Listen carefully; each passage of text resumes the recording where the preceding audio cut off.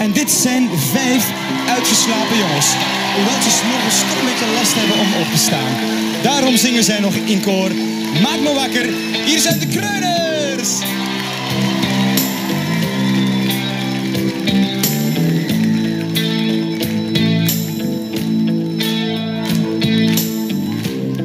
Als ik terugdenk